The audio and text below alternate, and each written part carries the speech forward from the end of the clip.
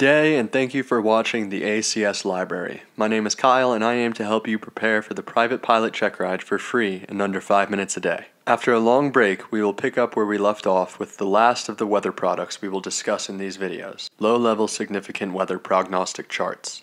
Serving as a pre-flight planning tool, low-level significant weather prognostic charts depict in-flight hazards to include weather flying categories, turbulence, and freezing levels for altitudes at and below flight level 240 or 24,000 feet MSL.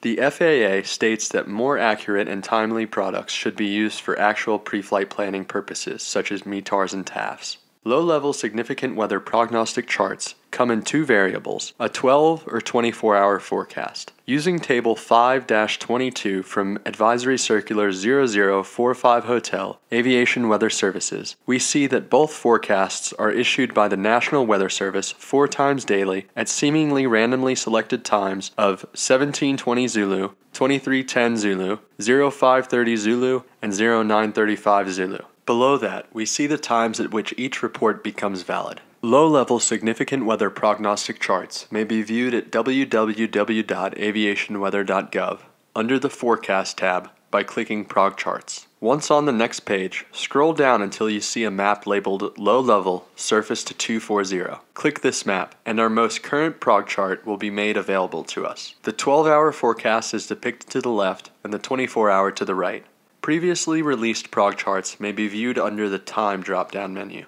As mentioned earlier, prog charts depict weather flying category as either IFR, marginal VFR, or VFR. IFR conditions, either ceilings below 1000 feet AGL and or visibility below 3 statute miles, are depicted outlined in red. Areas of marginal VFR conditions, or conditions better than IFR but not quite classifying as VFR, are outlined in a scalloped blue line that looks like a child's drawing of a cloud.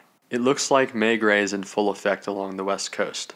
Areas of VFR conditions, or both ceilings above 3,000 feet and visibility above 5 statute miles, are found on the outside of the red and blue outlines. Moving on to turbulence, areas of moderate or greater turbulence may be found enclosed in orange dashed lines. Turbulence intensity and altitude may be located within or next to the area it affects. The intensity may be depicted as moderate by a single chevron, severe by double chevrons, or extreme by triple chevrons. The top and base of the turbulence may be seen depicted in hundreds of feet above mean sea level and separated by a forward slash, with tops to the left and bases to the right. In this example, we have moderate turbulence affecting an area from 3,000 feet MSL to 8,000 feet MSL. Turbulence affecting an area from the surface to an altitude will be depicted absent the base height, such as the moderate turbulence from the surface to flight level 180 depicted in our example here. Freezing levels at the surface are depicted by turquoise saw teeth, while freezing levels at altitude are depicted by a straight dashed turquoise line labeled in hundreds of feet above mean sea level, beginning at 4,000 feet and depicted every 4,000 feet after that. Notice also that if there are thunderstorms in an area, one may assume turbulence, icing, and low level wind shear are present.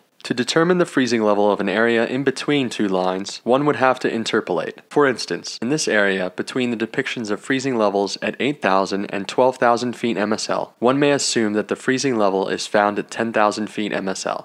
This concludes our video over low-level significant weather prognostic charts. This is a great tool for flight planning as it offers color-coded weather depictions, easy to interpret at a glance. But remember that the information may not be as timely or accurate as desired. Thank you so much for watching. As always, I'd appreciate if anyone who may have enjoyed this video might like it. If you're new to my videos, subscribe for notifications about future videos, or share with somebody who might find this video helpful. Any feedback helps me out tremendously. Comments and messages are always greatly appreciated. Thanks again and safe flying.